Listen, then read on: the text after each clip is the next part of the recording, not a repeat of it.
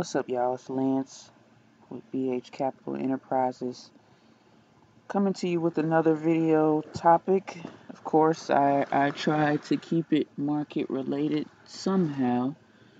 Um, but uh, this is going to be kind of a, not necessarily a repeat, but definitely a repeat topic.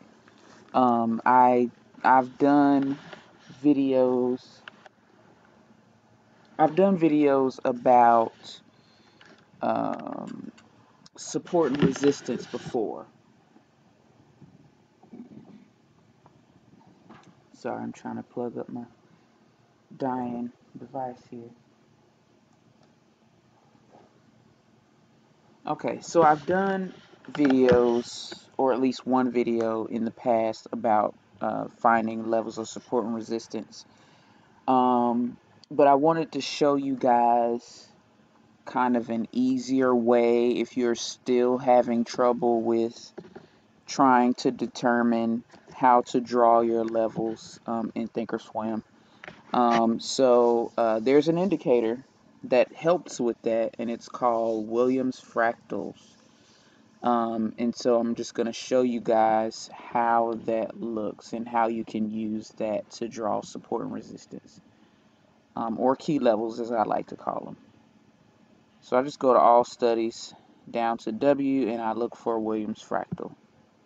And boom, it just plots them out. So this is a weekly chart of Tesla over a three-year period. So um, as you can see, it added these uh, little uh, sort of arrow type of indicators to the chart. So basically, you just use these arrows to find support and resistance. Um, of course, the wider the time, the higher the time frame, the less of these uh, fractals you'll have. But generally, what you do is you kind of connect those fractals.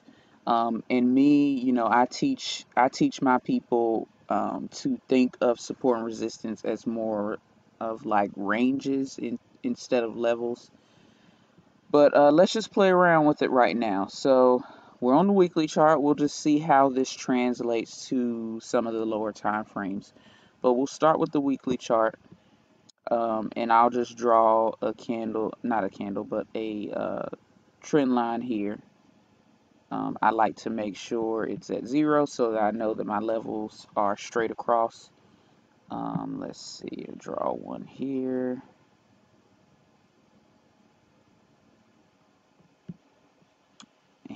Let's do one here. Uh, okay. There we go. Here.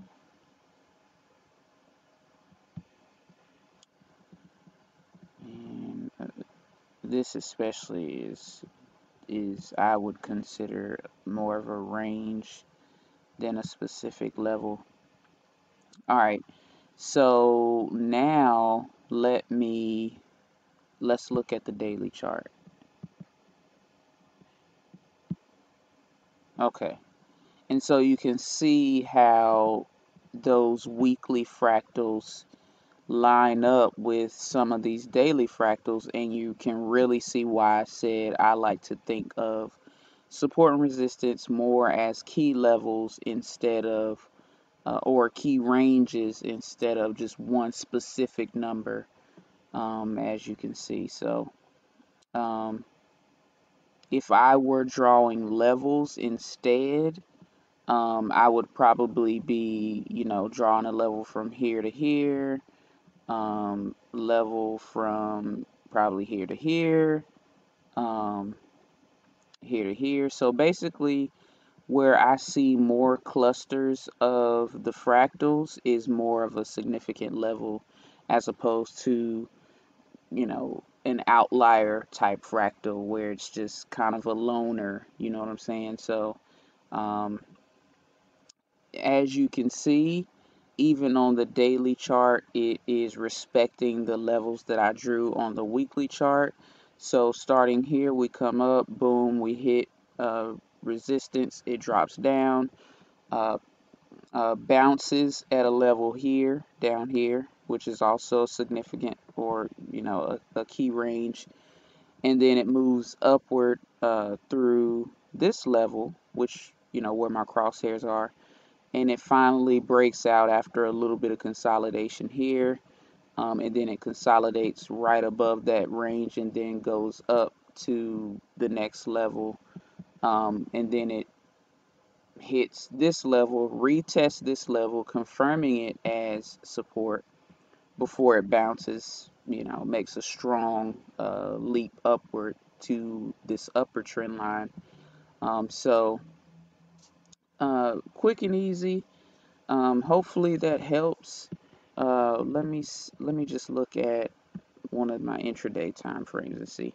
Yeah, so it looks like you know it it be you'd be best served with um, looking at the daily if you draw your levels on the weekly.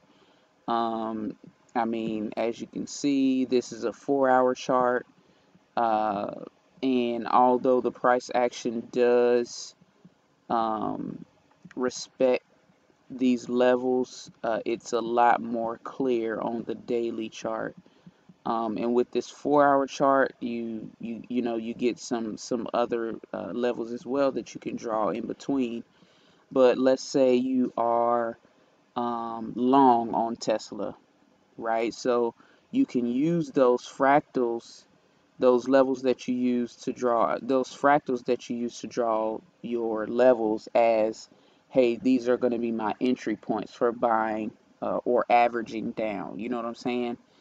Um, whereas, you know, with those, with shorter term trades, like if you're trading options, you may want to go and look at levels on some of the intraday time frames just just so you can get a sense for um, some some other levels that may be significant also that that you may not pick up on uh, on the weekly or the daily chart so that's pretty much it, you guys. Uh, if you have any questions, definitely uh, let me know.